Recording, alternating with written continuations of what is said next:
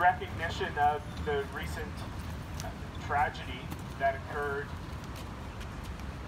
in Orleans last week when yet another cyclist was killed on Ottawa's unsafe streets.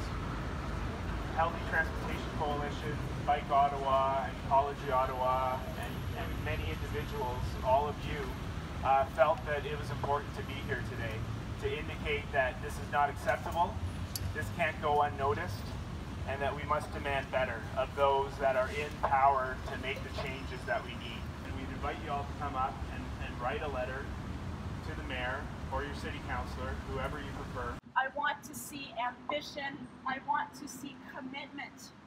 And I want to see leadership saying that no loss of life is acceptable.